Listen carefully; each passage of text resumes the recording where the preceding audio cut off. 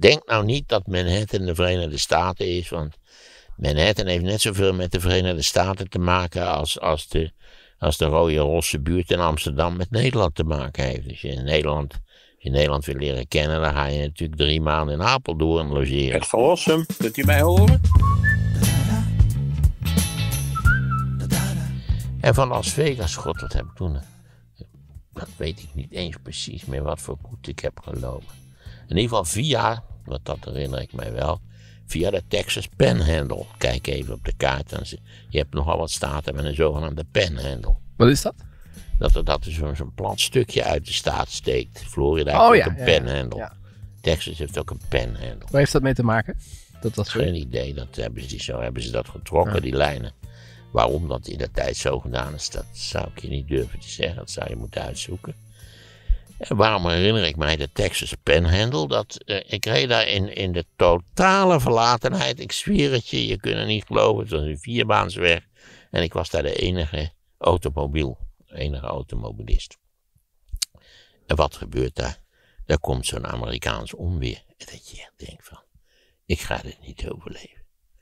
Ik ben Capelle nog niet doorgereden, want het, dat was hopeloos. Ik heb de auto daar neergezet.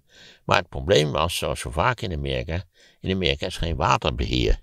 Dus er valt een hoeveelheid water waar je u tegen zegt. Er stond zo'n beetje een meter water. En je begrijpt, eh, die, Pinto die deed niet meer. Ik denk toch dat dat motortje nat geworden was of zo. Dus ik denk, nou ja, dan sta ik hier. In no time was het onweer weer weg. En, en, en scheen die, die afschuwelijke verzengende zon weer. En ik denk, kijk, sta hier, er is niemand. Er is nie- niemand is mij gepasseerd, dat moet ik. Eh, nu heb je al die mobiele telefoons en zo, maar dat had je allemaal niet, dus daar stond ik. En, en hij deed niet meer, dus je probeert nog eens even. Maar ja, hij deed niet meer, die auto. En dus ja, ik heb daar, ik weet niet, geloof dat ik een half uur gezeten of zo, misschien 40 minuten. Denk, ja, wie weet, laat ik nog maar een keer proberen. Ik draai het startmotortje, draai het startslot om en hij deed weer. Dus zodoende ben ik. Toen ben ik gereden door Oklahoma, een staat die ik niemand kan aanbevelen. Er is echt helemaal niets te doen. En, en Oklahoma City, daar was ook niks. En toen zo schuin naar boven weer naar Milwaukee, dat was mijn reis in de Verenigde Staten. Ik kan iedereen eigenlijk. Kijk nou eens, dit, dit wonderlijke jeugdige echtpaar met die reuze zonnebrillen op. hè. Ja, alle twee een beetje Ja. dezelfde brillen, ja. Alsof het filmsterren zijn. En alsof die zon, niet waar, twee reusachtige zonnebrillen noodzakelijk maakt. Ja. Ja. Ehm, toen ik eh, aan kennissen die ik daar had in, eh, in Madison zei, ja, ik ben van plan om, om een auto te huren en dan helemaal naar Seattle te rijden, naar beneden en dan weer terug. Zei ze, ja, jij bent niet goed wijs. Dat is flyover country. Neem nou een vliegtuig. Eh, vlieg nou van Milwaukee naar Seattle, dat je niet dat hele gezeik onderweg krijgt van, van Minnesota, Montana, de Dakota's enzovoort. Maar ik zou juist iedereen aanbevelen, doe dat. Omdat je, je krijgt begrip voor de immense ruimte. Het is een continentale staat en dat, dat is voor een Nederlander heel lastig te bevatten. Dat een land continentaal groot is. Ik geloof als je Amerika projecteert op Europa, dan, dan ligt eh, Maine, hè, Bangor, Maine ligt dus een beetje ten grootte van de Ja. Oeral. En San Francisco ligt ten grootte van de Ierse kust. Dus dat geeft je een beetje een indruk van wat het is. En wat deed je onderweg dan? Want je was echt heel. Je, bent, je hebt natuurlijk de meeste tijd in de auto gezeten. Ja, ik luisterde naar de radio. Dat is een van de interessantste dingen om daar naar de radio te luisteren. Omdat je, eh, je hebt daar lokale radiostations. En, en dus zolang je in de flyover country bent, is het allemaal country en western. Echt allemaal. Volledig eentonig. Nou je kent dat geluid wel. Zo'n man met zo'n gitaar. Eh, tot, je, tot je stomme verwondering. Ik denk dat dat in Seattle begon. Klassieke muziek. Dus dat betekent dat er een totaal ander luisterpubliek is. Want ja, die, al die lokale stations zijn natuurlijk gericht op de lokale luisteraars. Dat wordt, wordt allemaal keurig uitgezocht. Ook in, ook in Californië was veel, eh, was veel klassieke muziek op de radio. Weet je, in Nederland Radio 4. Ja, ik luister hier altijd naar Radio 4. Eh, ook wel veel gelul trouwens. Eh, allemaal dingen dat je denkt, joh, kom op. Dit hebben ze nou een klassieke muziekzender, hou dan op met zwetsen. Draai klassieke muziek, dat, daar is het voor. Eh, dus dat, daar had je allerlei amusante eh, zaken van. Eh, het ging dat was natuurlijk waren nieuwsuitzendingen. Je keek s'avonds op de kamer naar je televisie. In mijn herinnering toch allemaal nog voornamelijk zwart-wit, maar dat weet ik niet precies. Die motels waren allemaal spotgoedkoop. Eh, ik vond, als je dus niet rare eetgewoontes hebt, was reizen in de Verenigde Staten een spotgoedkope activiteit. Ik heb nog eens uitgerekend, maar wij betaalden meer voor onze tocht door Frankrijk en voor de vakantie dan, dan ik in Amerika betaalde. De motels waren goedkoop. Eten in grote hoeveelheden was relatief goedkoop. Ja, je moest kijken, als je natuurlijk in, in New York in een, in een deftig Frans restaurant ging eten, ja, dan was je een vermogen kwijt. Dat moest je ook niet doen natuurlijk. Ja, je moet sowieso, nou, um, dus het, het, het, was zo zelfs dat ik na deze immense reis, niet waar, nog 900 dollar over had van die, van dat, van die geweldige beurs die ik had gekregen. Dan heb je hem weer. Het is pure afluisterij volgens mij. DHL-busjes. Ja, elke zaterdag toch? Ja, Hetzelfde tijdstip. Ik denk iedere dag wel. Hij rijdt altijd veel te hard. Ja. DHL-busje. Um, waar had ik het nu over? Dat, heel, dat je 900 dollar nog over had. Ja, dat is op zichzelf nog weer een aardig verhaal. Dan wat moet ik nou met die 900 dollar? Wat dus toen 903 gulden 60 was. Dus dat was nog een vrij fors bedrag. Zeker in dit, dit, dit, is ook nog deels mijn arme tijd. Dus ik vond het vrij. Maar ja, ik, dacht, ik kan het in mijn zak steken, toch? een beetje. Uh, ik vond ik dat niet maken kon. Dus toen ik in Nederland was, uh, heb ik het weer overgemaakt naar de beursverlenende instantie. Waarop ik een enorme brief kreeg van de directrice van de, beur, de beursverlenende instantie. Dat dit de eerste keer was sinds de late jaren 40, sinds die beurzen werden uitgedeeld, dat iemand geld teruggestort had. Dus toen was ik wel een beetje trots op het feit dat ik in plaats van het in mijn eigen zak te steken, ja. leiding was natuurlijk wel aanwezig, dat ik het toch weer terug overgemaakt had. En hoe oud was je toen in deze periode? Ja, dit is 74, maar nog voor mijn verjaardag, want ik was eind september thuis, denk ik. Dus dan was ik uh, dus niet uh, 31. Ik was 30. Ja. En was er de voordeel ook dat je in je eentje was? Vond je? Ik vond het ideaal dat ik in mijn eentje was. Want ja, dat, dan had je allemaal conversatie gehad. Of, of mensen die zeggen van ik heb helemaal geen zin om zo ver te rijden of zo. Ik vond het rijden ook prettig. Ik was, dit was nog in de leeftijd dat je kon mij ook hier wakker maken. Als je zei van ik moet vanavond naar Bern, dan uh, was ik ingestapt en naar Bern gereden, zeker. Ik vond, ik vond autorijden fijn. Daar ben ik al lang overheen over, over deze afwijking. Maar toen vond ik het fijn. En ja, het landschap. Ik, ik heb erg genoten van het landschap. Amerika is natuurlijk landschappelijk een schitterend land. Dat is absoluut een feit. De woestijn is prachtig om doorheen te rijden. In allerlei opzichten. Ik herinner me, dat is overigens recenter, een, een rit van Las Vegas naar, uh, hoe heet het, Salt Lake City.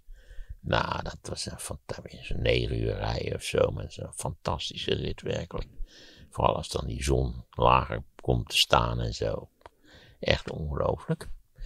Um, dus nee, ik, ik zat helemaal niet met het probleem van, oh, oh, wat ben ik eenzaam of zo. Nee, totaal niet. Dat heb ik helemaal geen last van gehad. En heb je ook, want je zei van tevoren, ik wilde Amerika leren kennen, dus het, e-, het echte Amerika wat je ook in de binnenlanden, wat je nooit ziet. Ja. Is dat ook gelukt, ook met de, de type mens wat daar woont? Ja, uh, men was zeer praatlustig in het algemeen. Uh, zodra ze op een of andere manier konden ze dat waarschijnlijk horen aan het accent wat ik heb. Eh, hoorde dat ik uit het buitenland kwam, begonnen ze over Richard Nixon, want dat, dat liep toen. En dat de impeachment, die verhoren en impeachmentproces, dat liep toen. En wat ik daar nou van vond en of je dat in Nederland nou ook had, dat soort van dingen. En dat ze er nogal mee zaten. En vooral omdat vrij veel van die lui zeiden, ja, we hebben op hem gestemd. En, en nu blijkt het dus eigenlijk een gevaarlijke oplichter te zijn. Ja, dat vond ik die, eh, ook in die, in die motels. Ik vertelde al van die oude man volgens wie je dus helemaal niet kon opbellen naar Europa. ja, voor mij was Europa ook net zoiets. Zo'n kolonie op Mars of zoiets dergelijks. Ja, in die, in die binnenlanden in Amerika, als je daar natuurlijk. Je hebt heel veel Amerikanen, daar is onderzoek naar gedaan, die dus wel, die wonen in een bepaalde staat. Vaak hebben ze nog twee of drie aanpalende staten wel eens bezocht, toevallig. En verder zijn ze uh, nooit geweest in, in Washington of in New York of in San Francisco of weet ik veel wat. Dat zijn, zijn, het zijn dorpsbewoners. Het is een beetje een verhaal over die Parijzenaars. Die in zo'n Parijse buurt wonen. En die nooit in de buurt van Eiffeltoren geweest zijn. En die, laten we zeggen, niet, niet toeristisch actief rondgereisd hebben. Dus ja, zeker. In mijn, de, de, de, de indruk. Je denkt, hadden ze allemaal met zo'n zo'n uh, zo'n machine weer rondlopen. Maar dat is helemaal niet zo. In het algemeen waren die Amerikanen zeker die onderweg ontmoeten. Zeker in de, in de, in de Great American Heartland. Enorme aardige, hartelijke, hulpvaardige mensen. Anders kan ik het niet zeggen. Ja. En zou je mensen adviseren nu ook om dat nog steeds te doen? Ja, dat zou ik doen. Ik zou ook zeggen, kom aan. Denk nou niet dat Manhattan de Verenigde Staten is. Want Manhattan heeft net zoveel met de Verenigde Staten te maken als, als de als de rode rosse buurt in Amsterdam met Nederland te maken heeft. Dus je in Nederland, als je Nederland wil leren kennen, dan ga je natuurlijk drie maanden in Apeldoorn logeren. Ja, dan ga je niet in Amsterdam zitten. Amsterdam, die, die hoofdsteden, die, die staan natuurlijk vaak een beetje los van de, van de reguliere dagelijkse cultuur en routine van de rest van de bevolking. Dus ik zou zeggen, huur een auto in Manhattan. Nou, misschien niet in Manhattan, want dan is het natuurlijk altijd weer hartstikke duur. Maar misschien ergens een beetje, beetje upstate. En ga gewoon rijden. Wat ook upstate New York, dat is heel. Dat heb ik toen niet gedaan, maar later wel. Uh, ja, uh, dat, dat is een prachtig landschap ook. Betrekkelijk leeg hoor. En je hebt natuurlijk binnen Manhattan, dan heb je nog een heleboel suburbia en zo. Maar op een goed moment houdt dat allemaal op. En begint het ware Amerika. Dus je rijdt zo'n benzinestation binnen, staan allemaal van die verroeste pick-ups. Van die Ford 150's. En met zo'n schrale, dunne man zonder voorgebit. En zo'n magnifiek dikke vrouw. En met twee van die geweren achter het, met zo'n klem, met zo'n klemmetje achter de ruit. Dat, dat is wat je daar hebt. Betrekkelijk armoedig. Ook upstate New York, eh, ook plattelanden zijn een beetje een armoedige boel. Maar het is ook weer een mooi landschap. Dus de weg, ik geloof dat dat in de state 88 is.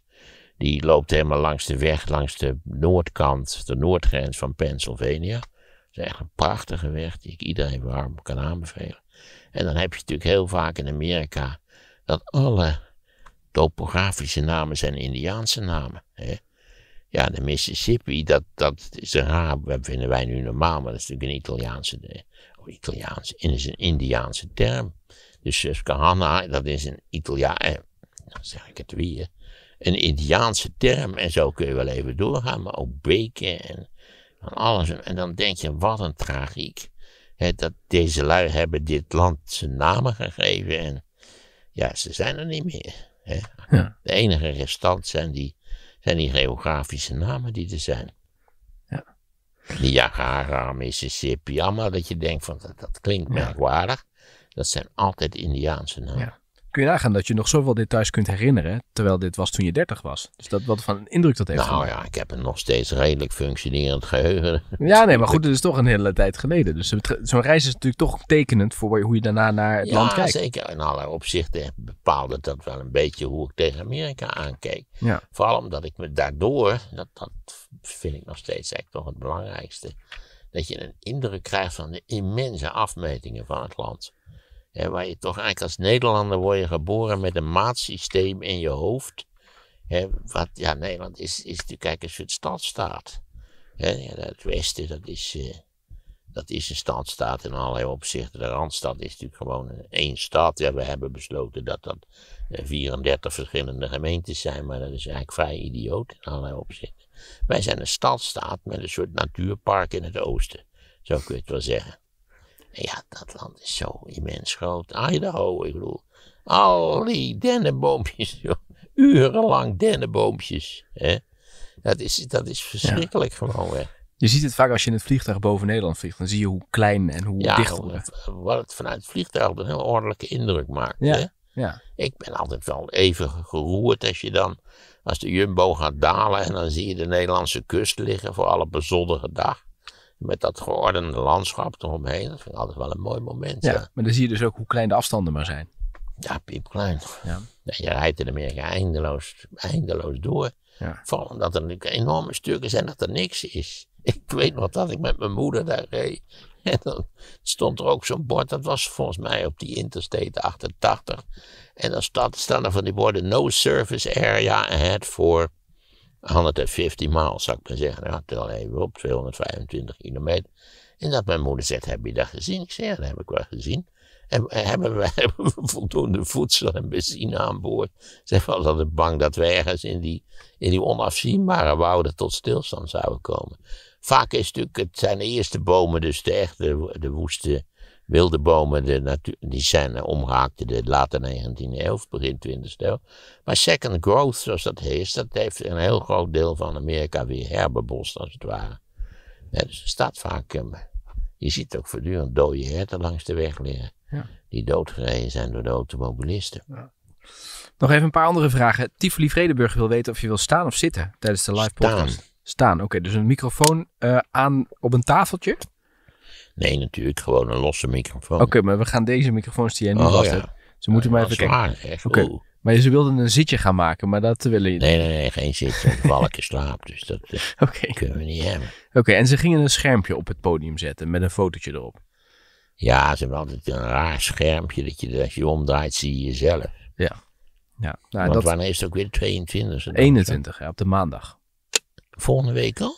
Nee, Eh, de week daarna. Ja, hè? dus nu maandag over een week. ja precies. Ja. Oké. Even kijken. Nou, dat was het eigenlijk wel. Ze zeiden, ja, kom wat eerder en dan kun je het nog eventjes testen. En dan, eh, maar de, de- Ja, dat zal ik doen. doe ik altijd. Maar dat, ja, je weet dat. Het is altijd maar heel sympathiek en goed bedoeld. Maar je moet dan een uur van tevoren. Net als met die talkshows op televisie. ja, Dat je een uur van tevoren. Dat is dan voor de visagie. Die duurt bij mij twee minuten. ja. Hè? Ja, die geluid hebben ze wel in orde. Dus de, de feitelijkheid is dat je gewoon duimen zit te draaien. hey, Isha Meijer, heb je daar nog herinneringen aan? Jazeker. Eerst ga ik wel herinneren, ja. Oh, eh, zeg je Ischa? Ischa of Isha? Ik zeg Ischa, ja. Ja. Het is, eh, volgens mij is het komende week is het zoveel jaar, 27 jaar geleden dat hij eh, is overleden. Ah, ja, hij is vrij jong overleden natuurlijk. Aan een, aan een hartstilstand bij mij weten. Ja. Heeft hij jou geïnterviewd? Ja, meerdere malen. En hoe was dat? Intelligente interviewen, maar wel erg gericht op datgene wat hij van tevoren al wist dat hij graag wilde weten. Dus hij, ik- hij heeft me hier nog eens geïnterviewd. En dat ik. Eh, nou ja, duurde enige tijd. En ineens zei hij van. Ja, nou heb ik het. Ik geloof dat ik zei dat ik ironisch was. Ja, nou heb ik het. En klaar was hij, deed dat boekje dicht en hij, vertrok weer. En hij had in, in Eik en. Is zo'n café daar, eh, daar in Amsterdam. Daar had hij zo'n radioprogramma. En ik, ja, hij was wel keen hoor. Hij was, eh, ik, zei iets en hij had direct in de gaten dat dat gelul moest zijn. En dat vond ik wel attent van hem. Hij is op dezelfde dag overleden als Ruud Lubbers. Oh, dezelfde dag, maar niet hetzelfde jaar toch? Nee, niet hetzelfde jaar. Lubbers in 2018, maar dezelfde dag. Dus ik, eh, ik Ik, zag... ik zie geen enkel verband, afgezien van dit eh, toevallige verband, zie ik geen nee. enkel verband tussen Ischa Meijer Dat is het ook niet, nee. en met Lubbers. Nee, ik was vooral even benieuwd, Ja, omdat hij... hij is gehad ook zijn tv-programma. Wat daar ook ergens werd opgenomen, daar in Artes. Met, met, dan had hij zo'n palmboompje op een heel klein tafeltje staan. En hij wou ook zingen. Dat is een ziekte in Nederland. Iedereen wil zingen. Dus in die radio, nee, het was een televisieshow van hem, zong hij dan eerst een Frans chanson. Waarbij je al meteen denkt, joh, doe dat nou niet. Hè. Maak liever. Hij was goed bij, in het interviewen van eh, mensen die schrijven of iets creatiefs deden. Ik vond de politiek niet zo verschrikkelijk goed. Hij wordt nog heel vaak geroemd hè, of aangehaald van een goede interviewer. Luister die Ja, terug. heeft natuurlijk het voordeel dat hij jong overleden is, dus dan verslijt je niet. Dus wat dat betreft, je kunt natuurlijk als je, als je een eeuwige belofte wil blijven, moet je jong overlijden. De Club van 27, hè? Is. Ja, is dat, dat werk, hè, want altijd zullen mensen ja, stel je voor. Amy Winehouse. Stel je voor dat Pim was blijven leven, dan Ja. zou Nederland er totaal anders uitzien. Echt veel en veel beter. Er komt een serie over, hè, over Pim.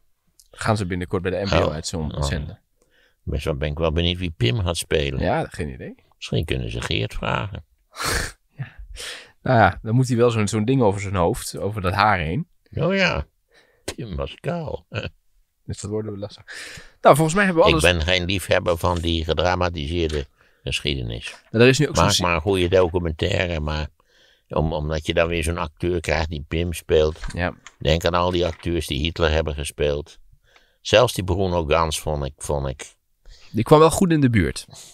ja, maar ik geloof dat Bruno Gans 30 centimeter langer is dan Hitler was. Volgens mij hebben we alles gehad.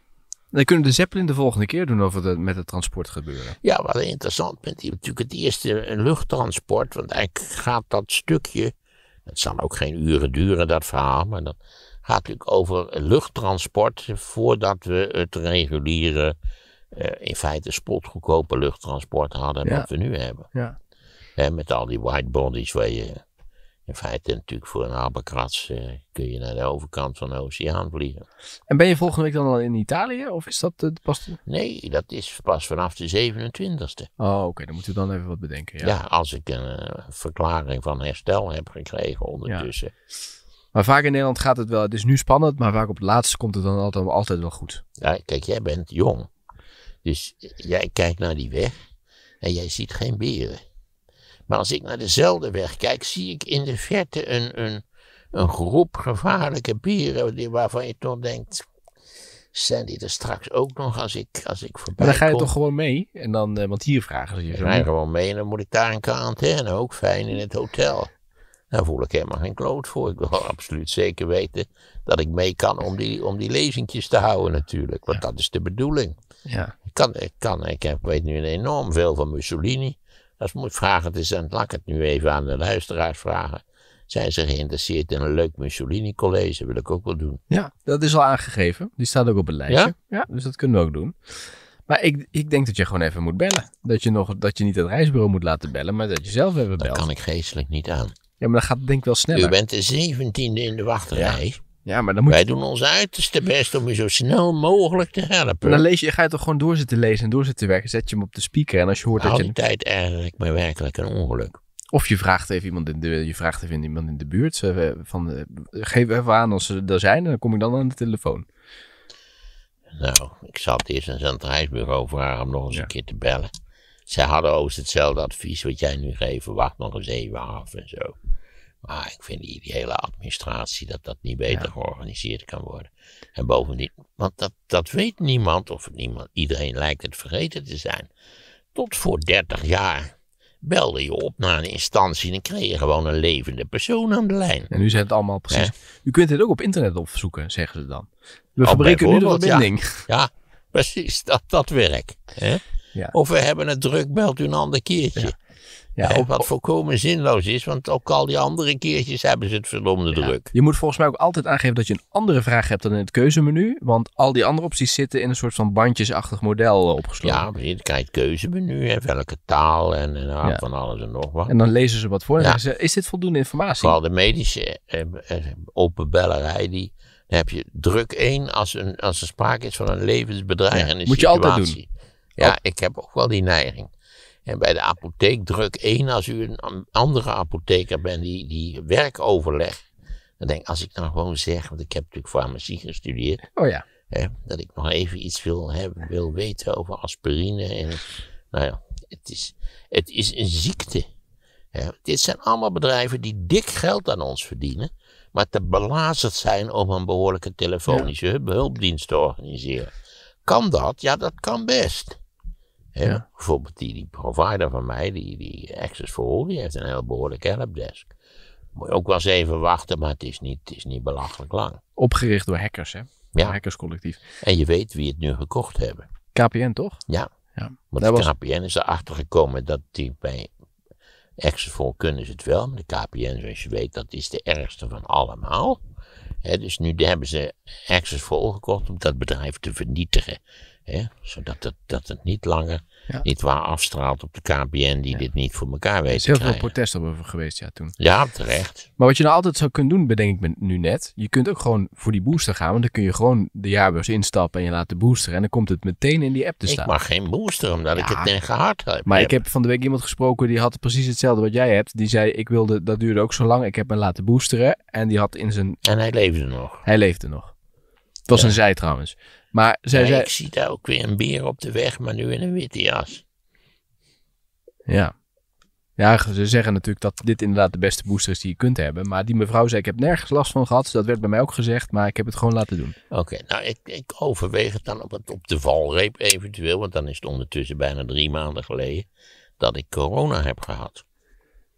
Waar ik eh, althans toen nauwelijks last van heb gehad. Maar tegenwoordig heb ik het gevoel dat ik, dat ik een zekere slaperigheid heb opgedaan. Daardoor? Ja, Long covid. ja, soort van. Maar je valt snel Nou, in het slaap. gekke is dat ik eigenlijk alleen heel slaperig word van hele zware, moeilijke boeken. Terwijl bij, bij detectives en zo word ik een Ja. stuk minder slaperig. Maar dat kan ook gewoon liggen dat je ouder wordt of dat je het boek saai vindt. Nou, het, het zijn allebei hartstikke goede boeken. Ik lees nu bijvoorbeeld een hoogst interessant boek waar ik ook, dat heet War Was Won. Wat eigenlijk in allerlei opzichten een, een volstrekt alternatief beeld geeft van de strategische verhoudingen en betekenis van de Tweede Wereldoorlog. En wie, Misschien ook iets voor de, voor de luisteraars. ja, dat is ook, wie heeft Ja, dat ik ben er geschreven? net aan begonnen. Een Engelsman. Oké. Niet Overy. Nee, eh Overy overigens verwees er met, met, eh, eh, in positieve zin naar. Vooral ook omdat het deels Overy wel prijst. Met name zijn eh, bijdrage aan de geschiedschrijving van de bombardementen in de Tweede Wereldoorlog. Maar toch ook tot hele andere conclusies komt. Kijk, eh, vrijwel iedereen heeft tot op heden beweerd dat natuurlijk het Oostfront en, en het feit dat de, Rode Leger daar eh, getriomfeerd heeft over de Weermacht, dat dat eigenlijk het beslissende Ja. moment en de beslissende strategische ontwikkeling van de Tweede Wereldoorlog is, wat door deze auteur volledig ontkend wordt. ja. Nou, weer een, dat kunnen we volledig gericht, bij hem is het volledig gericht op de productie van in feite vliegtuigen en schepen. Ja. Ja, misschien wel leuk voor de, voor de luisteraars. Ik vind het interessant. NSB kwam ook nog binnen om daar een keer iets over te doen. Ja, de NSB. Mensen realiseren zich niet dat die NSB zelfs op zijn absolute totale hoogtepunt bij provinciale statenverkiezingen 8% van de stemmen kreeg. Dat stelde echt geen malle moer voor. Zou je nu in de Tweede Kamer 8%, dus dat is 8 keer anderhalf, dus dan heb je 12 zetels in de Kamer. Eh, En dat is het hoogtepunt. Daarna eh, is het weer minder geworden. Ja. Maar het heeft toch En best... bus, bus, het was ook al een ongelofelijke druil hoor. Ja. Maar goed, er wordt nog heel vaak gezegd, je bent een NSB'er. Dus het heeft toch... Ja, dat is waar. Ja. Dat slaat nergens op, maar dat wordt vaak gezegd. Ja. Dat heeft natuurlijk ook. Dat, dat- daar is natuurlijk, dat is net als met fascisme eigenlijk. eh, ja, dat, je, dat je iedereen met een pet. Vroeger staan studenten. Hoe kunt u zien dat iemand een fascist is? Zei een van die studenten als hij een pet op heeft. Ik zeg, vindt u dan de, de, hoe heet het, de postbode ook een fascist? Ja, zeker. Alle postbodes waren fascisten volgens hem. Tegenwoordig zijn de postbodes volgens mij ouder vandaag die er nog een klusje bij doen. Als ik het goed nou, zie. niet hè? Niet allemaal. Nee, je hebt ook hele agressieve ertussen zitten. Oh. oh. Maar je hebt het gevoel dat het nogal een ordeloos groepje is. Ja, ja. Eh, wat er was er nou nog? Inderdaad, NSB. Nou, dat, dit kunnen doen. De transport hebben we nog. Nou, en dan Mussolini. Dus eh, nou, daar komen we wel weer een heel eind mee. En ehm, de, moet jij nog iets voor de gemeenteraadsverkiezingen doen? Nee, nee. Ik bedoel, ik ben lijstduwer en dat is het. Dat is het, ja. Ja, uit, uit solidariteit. Ik heb het uitgelegd Ja. eh, hoe- waarom ik het had gedaan. Ik heb überhaupt mijn twijfels over de lijstduwerij. In allerlei opzichten. Maar ik dacht, ah, ik moet ook van mijn woede af van, eh, over de Partij van de Arbeid. Maar dat is nu wel, tijdens Rutte 2. het is nu wel goed geregeld dat je dan niet, als je met nog te veel stemmen krijgt, dat je er toch in komt. Dat is nu wel, eh, dat was een paar jaar geleden Ja, toch? dat ik, heb ik zo duidelijk mogelijk gemaakt. Ja, nee, dat was een probleem. In, in eh, hoe heet het? Kijk, nu zeg ik ook ja, nee. Zo'n wonderlijke formule eigenlijk, hè. Dat je de bevestiging en de ontkenning tegelijkertijd in één formule pakt. Dit was, eh, god, dit zijn verkiezingen. Gemeenteraad is echt twaalf jaar geleden of zo. Schat ik. Ja. Ja, ik zat, ik kreeg een brief van, eh, ik moest ook nog een, eh, hoe heet het, zo'n verklaring van goed gedrag. Oh ja, ja, dat moet iedereen tegenwoordig. Als je ergens gaat Ja, werken, moet je slaat dat dus ook nergens op, want ik begrijp dat er voortdurend mensen gearresteerd worden. die de meest verschrikkelijke dingen hebben gedaan in functie. Maar die wel een, verklaring voor goed gedrag hadden. Ja. Ali B krijgt hem niet meer, denk ik, als hij hem aanvraagt. Ik, het zou me niet verbazen als hij ook als die, als die een cursus volgt. dat hij het nooit meer doet. dat, dat hij ook een verklaring voor goed Oh, gedrag in krijgt. ja, in zo'n in zo'n Ja, kliniek. een leercursus. Ja. hey, we hadden, heb je nog bij Volt gezien? Bij Volt zijn er veel luisteraars van de podcast. Bij die partij Volt. Ja, je weet dat ik overwogen heb om vol te stemmen. Maar dat ik toch uit puur strategische overwegingen D66 heb gestemd. Ja, maar wel interessant. Ik sluit niet uit dat ik bij een volgende gelegenheid op Volt zal stemmen. Ja, maar zij werken dus ook in, niet in alle gemeentes volgens mij, maar in sommige gemeentes gaan ze ook Ja, meedoen. er waren wel allerlei gedonder van of ze al voldoende meisjes hadden. Oh, sorry, vrouwen. Oh, ja. Ja. Meiden, weet ik wat ze tegenwoordig voor emancipatorisch zijn. ja. Maar het klinkt wel alsof ze het constructief aan het bouwen zijn. Nou, wat ik interessant vind is een uitgesproken pro-Europees standpunt Ja. natuurlijk, want dat heb ik zelf ook. Nog steeds eh, vind ik de EU is de belangrijkste prestatie die eh, wij in Europa geleverd hebben na 45. Plus misschien de verzorgingsstaat, zo'n combi van die beide zaken in alle opzichten. Misschien moeten we daar eens iets aan doen, aan de opbouw van de verzorgingsstaat. Zou dat een heel melig thema zijn? Nee, ik zit te de denken, hebben we, dat niet een keer, hebben we dat niet een keer gedaan al? Hebben wij een archief eigenlijk? Ja, je kunt gewoon terugkijken. Volgens mij verzorgingsstaat hebben we al een keer gedaan. En, eh, maar daar kunnen we nog eens een keer een, een upgrade van doen. Want dat verandert natuurlijk ook eh, weer steeds een beetje. verzorgingsstaat. Maar ja, dan moet je weet ik hoe van die dingen terugluisteren. Want ik, ik heb pas naar die nummering gekeken. We zijn nu al bij 215 of zo. Nee, nee, nee, niet zo, nee, nee, 100 nog wat. 128 Man, precies. je denkt 129. 128. Dan moet Ik ga niet 128 uur naar mezelf zitten luisteren. Nee, maar dat doen mensen dus wel. Ze zeggen, ik ben vanaf nummer 1 begonnen en ik ben nu wel helemaal bij. Oh. Nou ja, god, ik eh, vind het prima. Oké. Nou goed, dan eh, het is nu, even kijken, hoe is het? Ik heb dat, eh, kwart voor vier. Nou, dat is een eh, mooie tijd. Hele mooie tijd, twee uurtjes. Dan kun je er precies de midden knippen, Precies. toch? Ja, we hebben twee afleveringen. Super. Ja, dat ik nog met die reis, ja. Ja, ik kan het iedereen warm aanbevelen. Ja, klinkt heel leuk. Ik sluit niet uit. Eigenlijk zou dat in Europa ook moeten doen. keer- Ja, Ik moet zeggen dat toen wij nog geen kinderen hadden en eigenlijk vrij vrij waren in wat je. dat we ook wel eens op de Bonnefoy gewoon Europa binnenreden. Daar deed je ook hele merkwaardige ervaringen op. Aanvankelijk bijvoorbeeld ging ik altijd vragen of, of ze een kamer vrij hadden. En je begrijpt al hoe dit verhaal zich gaat ontwikkelen. Als ik het vroeg, hadden ze nooit een kamer vrij. Het was altijd fasching of alles was uitverkocht of nou ja, enzovoort enzovoort. Tot ik dacht, dat ligt natuurlijk aan mij. Ja, maar geen fasching en allemaal slap gelul van die Oostenrijkers zoals die het waren. Dus ik denk, ik zei tegen mijn echtgenote, ga jij nou eens vragen of ze een kamer vrij had. En verdomd, als mijn echtgenote het vroeg, altijd een kamer vrij. En dan was de mop natuurlijk, dan had zij die kamer gehuurd. En dan kwam ik met het koffertje. En dan zo, oh godsverju, een, een, een artiest, een gevaarlijke figuur. Nou ja, dit, dit. Ik vond dat zo typisch. Hè, hoe sterk dat dus ge- ge- gerelateerd was aan degene die het kwam ja. Dus bij liften toch ook, als meisjes het vragen of dames, dan zijn ze eerder geneigd om het mee te nemen dan Ja, heren. ik heb natuurlijk nooit gelift, dus daar heb ik geen ervaring mee. Maar dit was, en dat ik er zo lang over gedaan heb om erachter te komen dat ze natuurlijk mij bij niks vonden, liever maar dit. Ook in Frankrijk trouwens. Je zou zeggen, kijk die Oostenrijkers, daar weet je van dat ze niet deugen. Maar eh, in, in Frankrijk verwacht je beter, maar daar was het precies zo. dus ja. Dus altijd ging mijn echtgenote, had nooit enig probleem gehad. Ja, grappig. Eh, je ziet het bij, bij liften ook. En. Maar dat is een goede tip voor mensen. Hou het in de gaten. Ja, mocht u, mocht u dus naar zo'n hotel gaan en eh, u kunt natuurlijk ook, de man kan het best zelf doen, maar dan moet hij er op een bepaalde manier uitzien. Mijn vader werd ook absoluut gegarandeerd, als we met de trein gingen naar het buitenland, werd mijn vader eruit gepikt en, en moest hij alles, eh, de koffer open en zo. Want toen, kwamen al twee douaniers door de trein.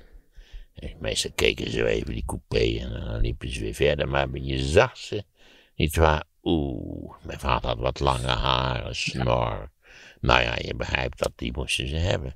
Als je op de Schiphol Nike schoenen aan hebt, word je er ook uitgehaald voor de drugscontrole. Ja, ik reisde nog eens met mijn vader, daar kun je aan zien. Wat een flauwe grap ik maakte. En die twee douaniers die, die deden die deur open, hier nog iets aan te geven. Ik zei, ja, zeven flessen jenever. Ja, dat moeten ze toch wel begrepen hebben dat dat een wiets was als een jongen van 14 dat zegt. Nee, zo was het niet. Mijn vader heeft alles uit moeten pakken. En mijn vader was toch nijdig op mij, joh. Dat was echt verschrikkelijk. Dat heb je daarna nooit meer gedaan. Nee, dit heb ik nooit meer gedaan, nee. Nee. Ik dacht zelfs dat het erg leuk was, maar dat...